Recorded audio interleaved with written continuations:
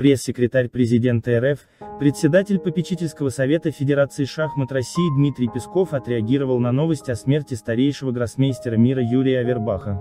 Он прожил прекрасную жизнь и сделал шахматы лучше, чем они были до него, сказал Песков в беседе с ТАСС 7 мая. Ранее в этот день стало известно, что гроссмейстер скончался на 101 году жизни. Международная шахматная федерация, FIGHT, выразила соболезнования. Авербах получил звание гроссмейстера в 1952 году.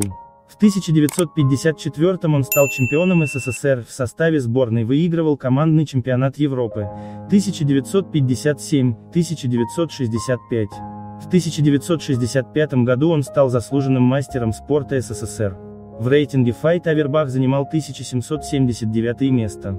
За достижения в области шахмат награжден Орденом Дружбы Народов, 1981, медалями за трудовую доблесть, 1957 и за доблестный труд. Вознаменование столетия со дня рождения В. И. Ленина, 1970.